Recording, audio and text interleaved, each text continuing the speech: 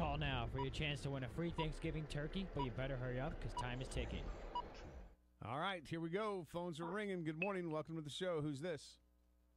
Good morning to you. It is our buddy Rockin' Ryan. How you doing? Rockin' Ryan. Well, thanks for having me this morning. Hey, it's always good to hear from you. We we we, we love it when you call and wish you would call more. We used to hear from you a lot. All right. Well, I'm going to keep. I'm going to move you from four to one on the speed dial. Thank you.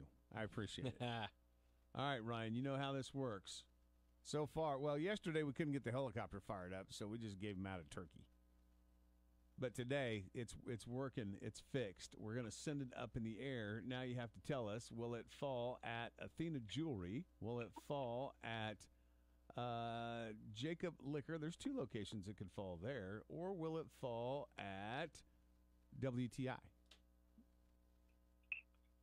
Oh man, you know I like double my chances, but I want to drop it on my buddy Rob at WTI. All right. Well, let's see if your buddy Rob's going to work out for you or not. Here we go. Get it up in the air. Here we go.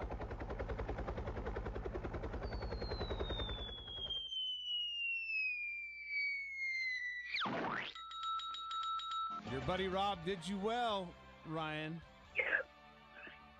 Yeah. Buddy Rob did you well. You get your turkey this year from our friends at Yoder Meats. You know what to do. You got to come by here to the station, pick up your certificate, take it over to Yoder Meats on West Street. Got to go to that location, and they'll give you your turkey. Are you there? Are you just so overwhelmed? I think he hung up on us. Did you hang up on us, Ryan? Yep. Wow. He Still said, blinking. I, I think he just put us on mute. I think he got so overwhelmed he just put us on mute.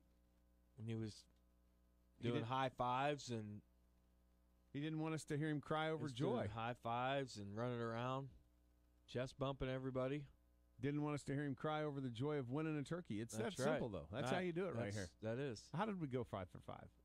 I don't know. I have a feeling yesterday it was going to miss if the helicopter would have worked, yeah.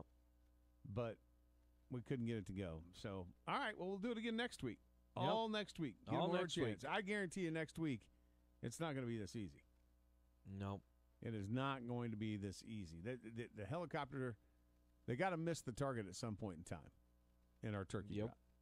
All right, if you want to weigh in here before